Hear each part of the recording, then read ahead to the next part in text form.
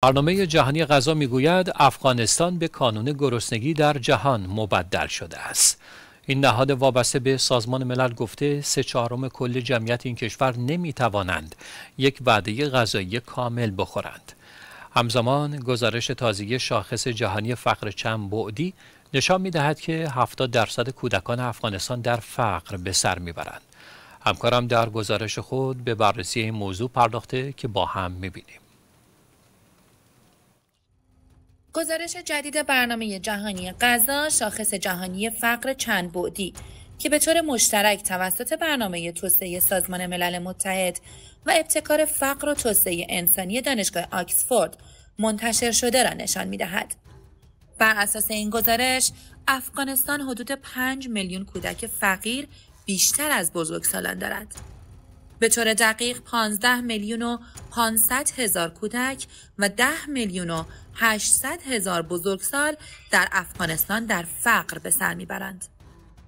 بر اساس این گزارش محرومیت از آموزش و سوء تغذیه از عوامل اصلی فقر در میان کودکان افغانستان است. گزارش یاد شده نشان می دهد که 53 درصد از خانواده های فقیر در افغانستان با کودکی زندگی می کنند که از حضور در مدرسه نیز محروم است و 45 درصد از خانوارهای فقیر با کودکی زیر 5 سال که دچار سوء تغذیه است زندگی می کنند. سازمان ملل متحد در آخرین به رسانی شاخص فقر چندبعدی جهانی اعلام کرده است که حدود 70 درصد از جمعیت افغانستان در سال 2022 تا 2023 در فقر زندگی می کردند. همزمان با این رئیس برنامه جهانی غذا در افغانستان گفته که حدود 27 میلیون نفر نمی توانند غذای کافی بخورند و خانواده ها در سراسر این کشور برای سپری کردن زمستان به کمک های فوری غذایی مداوم نیاز دارند.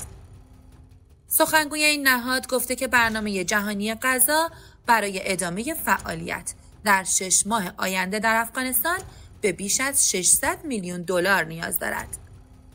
سال گذشته برنامه جهانی غذا به دلیل نداشتن بودجه 10 میلیون نفر را از فهرست دریافت کنندگان کمکهایش در افغانستان خارج کرد و تابستان امسال 11 میلیون نفر از دریافت کمک ها محروم شدند. از جمله این افراد دو میلیون مادر و کودکشان می باشند که هیچ مواد غذایی ویژه برای مقابله با سوء تغذیه دریافت نکردند.